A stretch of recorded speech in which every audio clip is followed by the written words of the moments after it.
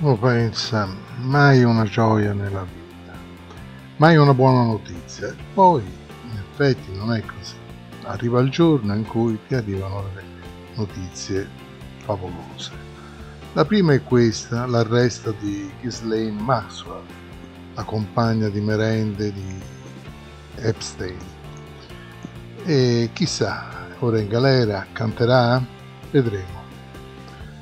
La seconda notizia è quella che riguarda la passionaria delle coppie LGBT, eh, il cui fratello e il cui nipote fanno parte della Camorra, una brutta tegola su, sulla testa riccioluta della signora. Ricordate il film Hostel? Parlava di un'associazione segreta dedita ai rapimenti alle uccisioni e alle torture. Il tutto si svolgeva nei paesi dell'est, mm, se non ricordo male nella Slovacchia. Ebbene, eh, qualcosa di simile sta venendo fuori ora ai confini tra Olanda e Belgio.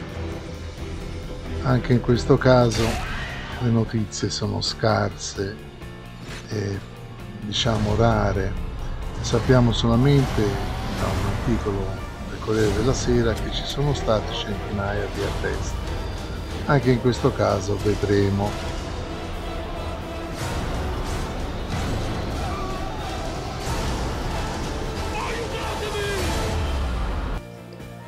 Ed eccoci, dalla fantasia alla realtà.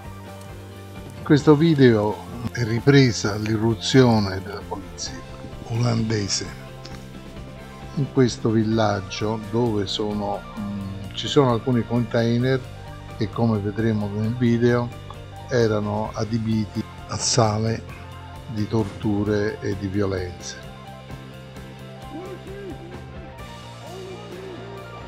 Come potrete vedere in questo video, sale di tortura insonorizzate, ehm, ci sono gli strumenti che eh, come avete visto sono ben visibili nel film Hostel, eh, strumenti che servivano naturalmente a, a creare situazioni eh, terribili di violenza e di tortura verso le vittime. Eh, vittime che venivano riprese da telecamere che trasmettevano in remoto. Anche questa è una notazione molto significativa. Vedremo, vedremo anche in questo caso come andrà a finire, anche se temo tutto andrà un po' mm, nascosto e coperto. In ogni caso eh, l'identità degli arrestati non si conosce, tutto è mantenuto nel segreto più ferreo.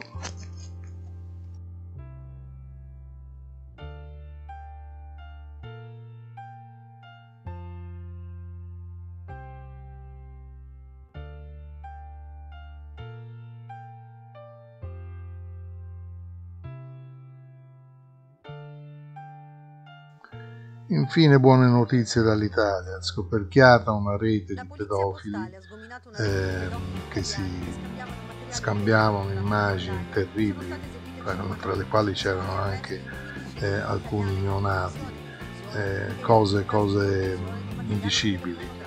E io mi auguro che tutto questo abbia un termine, se è vero come è vero che dall'arresto della Ghislaine Maxwell tante cose potrebbero cambiare nel mondo, visto che la signora e il suo ex compare erano al vertice della piramide pedosatanista.